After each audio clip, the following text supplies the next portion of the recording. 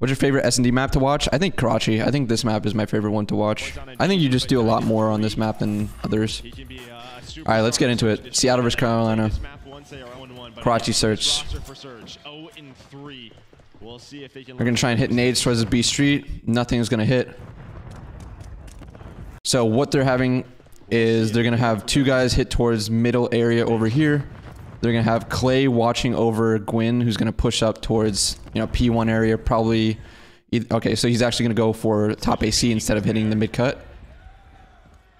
Clay's actually getting super aggressive here. So instead of playing towards, you know, the heady over here, he gets pushed up a little bit more and towards his off angle, trying to watch his short. But, you know, he's going to try and back up. And honestly, he probably should have died here. I don't know how he does not die with two guys seeing this. Number two shooting at him. Number four might not have the angle at the point to, to see him, but he's he's he's kind of backed off, and somehow he escapes with his life, and that provides a timing because they're kind of fully giving up B side. Seattle is, and Gwinn can just hop into the, into Fountain over here. So Gwinn's gonna be huge in this round. We'll see what he can do alone, pushed up here. They're not gonna be expecting someone into into Fountain here.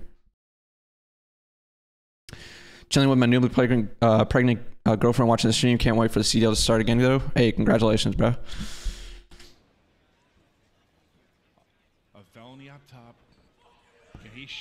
So they're they're kind of slow playing this. Kind of, I would assume, waiting for Gwinn to make some sort of play. See if you can find an opening for them. But they actually go just for the smoke plant, and they're not watching top AC, unfortunately. So Kyler makes a play mid. So this is this is interesting because they gave up mid because obviously Gwinn pushed into the fountain area and Clay back got backed off from those players towards mid side. So I'm surprised that they don't know that someone could be towards this mid area. I guess Fellow takes a glance at it, but you know, Kyler's in P1, you know, he's not gonna be able to see Kyler, so Kyler just goes right up top of his AC. It's a gap in their setup. He gets one on Clay. TJ actually gets off bomb. And now you're you're you need Gwinn to make a play now. So he gets a kill on, on Kyler. They're probably like, how the hell is this guy fountain, by the way? And what happens here? Oh, so so TJ tries to go and cross back, and he just gets killed from from Ender over here, who was bottom cache. So 3v2 for Seattle. Even though they gave up the B site and basically just played mid, they're still able to kind of you know make this mixy because of that mid control they got. Gwinn, let's see if he sees Ender. Ooh, nice kill. I told you, Gwinn's making plays this round because of the position he has. Let's see if we can get another. Ooh, close. He's one shot though. Unfortunate. On that on that end, you know, Fellow is making play through A side. They're probably not gonna. He's probably not gonna expect Fellow to be here. So yeah, one one on one now. 20, 20 seconds. So he has to he has to get the bomb and plant it. He doesn't know that it boozes all the way on the other side of the map. He basically has to play for the kill. He has absolutely no idea where this guy could be. He probably thinks he's flanking, yeah. So he didn't push through, and that's what Fellow is thinking. You just gotta, if that's a gamble at that point, it's a 50-50. All right, let's see. Offense Seattle here. They're trophying, making sure they're not getting hit by any like initial nades. Kyler's going to go up through mid cut here with bomb. So kind of the same thing that you saw before, but instead of going up top AC, uh, is going to go towards his mid cut, trying to make a play here. This is kind of dangerous though with bombs, uh, so I don't know what they're going to do here. Ender, Ender gets a really nice kill on, who is it? On Gwinn. So Ender goes on top of this scaffolding over here and can see top AC. So Gwinn gets picked apart pretty easily. TJ tries to, TJ actually tries to make a play here too. But this is a nice setup by, by Seattle for covering this. So this is a gamble on Seattle's part. Like if, if people hit towards this mid cut and Kyler dies, that's really, really bad. But if they're playing slow like this, where they're trying to play, you know, one top AC, one top bridge, and this guy top bridge tries to, you know, get a trade on Ender here, you know, that opens that opens him up. And then number, what was it? Abuzah gets a kill on lurking over here towards the A site. on Clay. So 3v1 here. This should be bombed down and why are we not going to bomb? We should be planning bomb ASAP now, I feel. I mean, I guess they're trying to go for the kill, but this is, I don't know. I'm, in my opinion, 3v1, you're, you're planning bomb instantly. You're, you're, like, they didn't know where the last guy was, right? Oh no, they, they just see him top castle. But once they see him top castle, I feel like he just goes to bomb.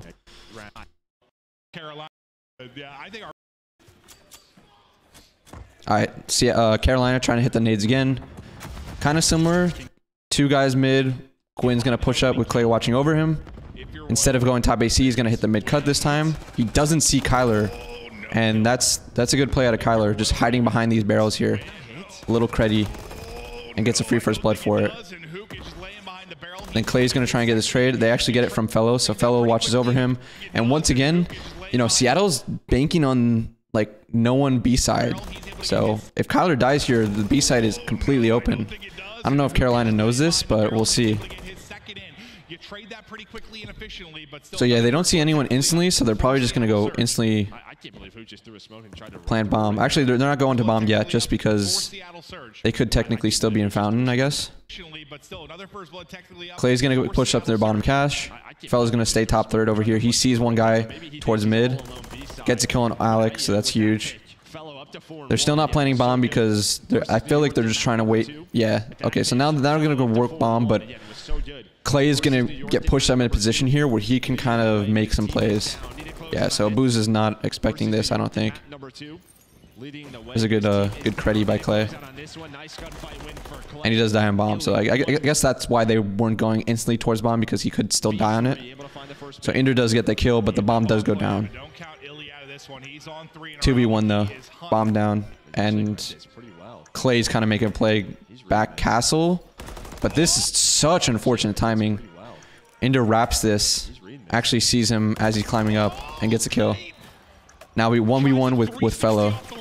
Tyler knows where he is, where he is. Inder now knows because he shot. See if he can get a up top AC over here. This is a crazy play. Wow. Crazy 1v1. Fellow pulls out the pistol just in time and, and gets that kill. That was a good play by Fellow. It was a good play by Inder too. Like he was not expecting him to be, you know, making that play going to towards top AC.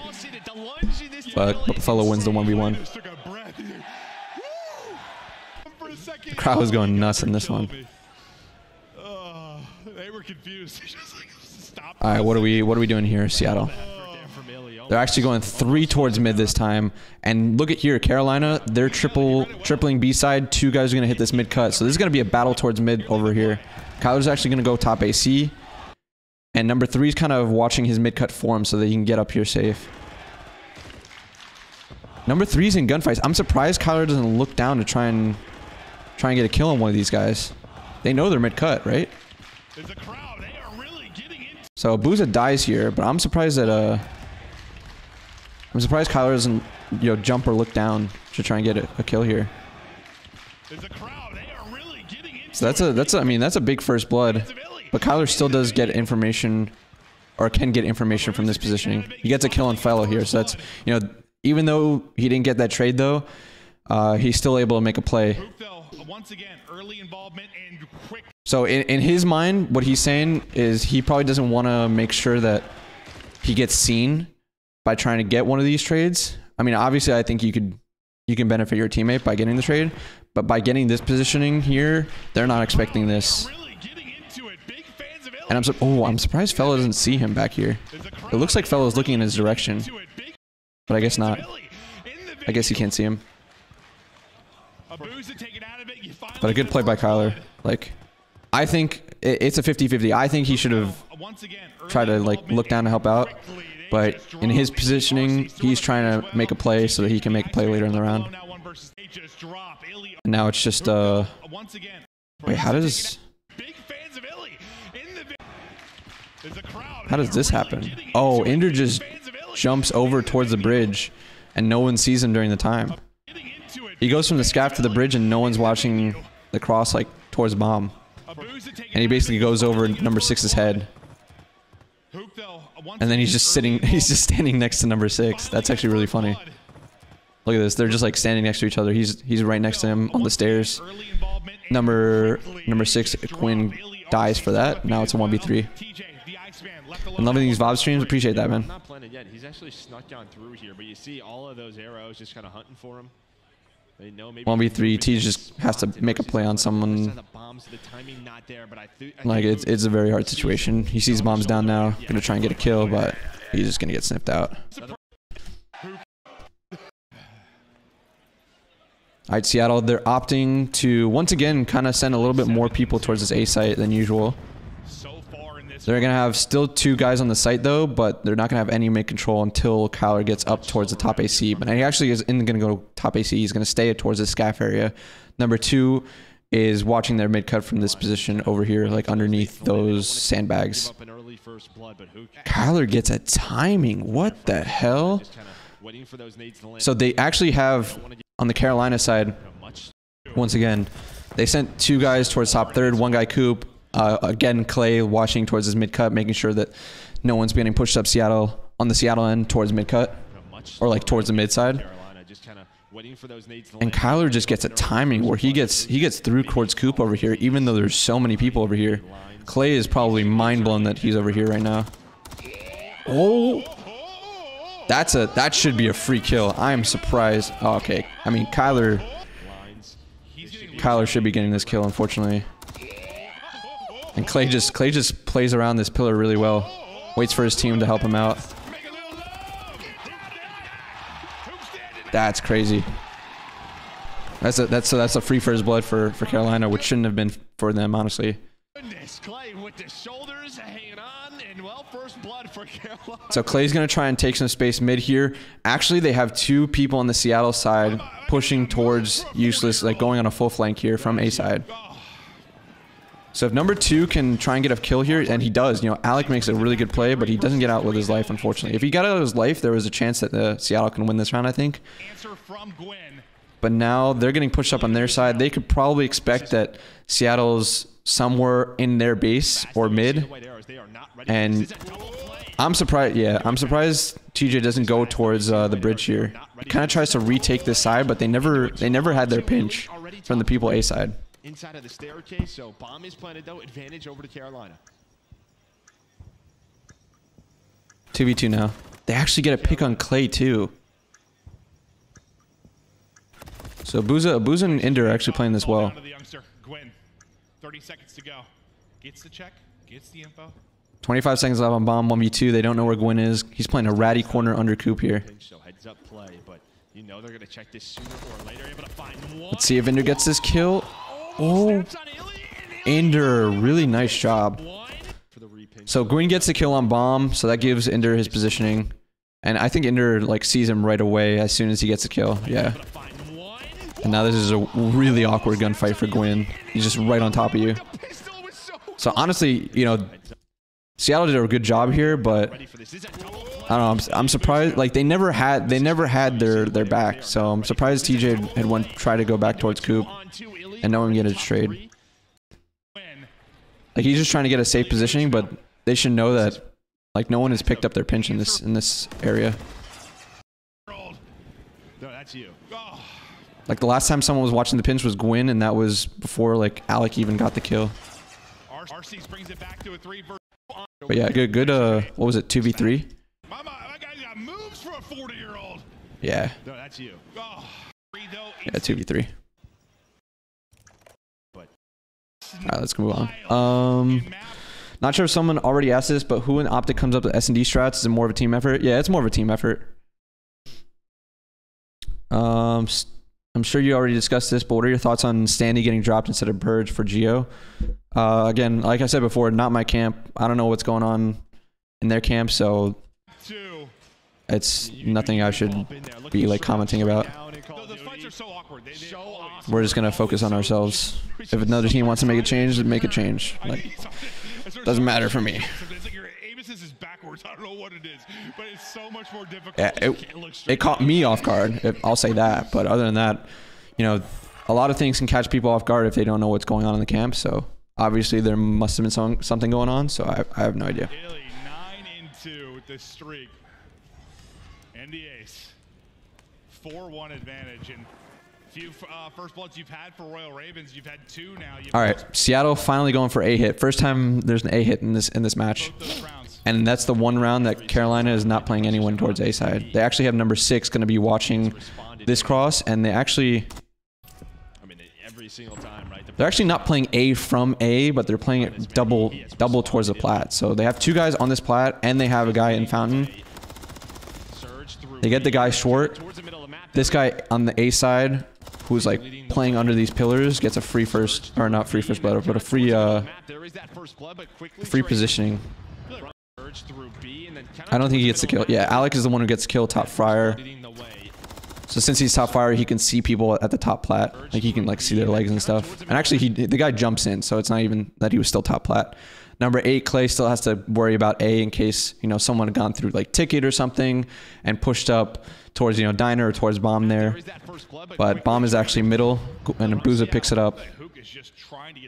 And they're going to try an option again towards this A, but a really good position out of Clay. This is what he was kind of just playing that fail safe over towards this A side by moving over here, making sure that they can't go back towards A because, you know, obviously he's the only one on his team that could pick up A. Actually catch him, give themselves numbers. Like, he's giving them the 5 a.m. leak coming out. Yeah, that was the most surprising thing to me. I woke up at like, what was it, 7:30 or something, and that shit was leaked apparently two hours before I even woke up.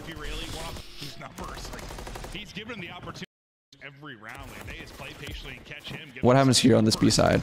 So Ender gets a kill top AC, but he just gets traded by TJ. So 2v1 now.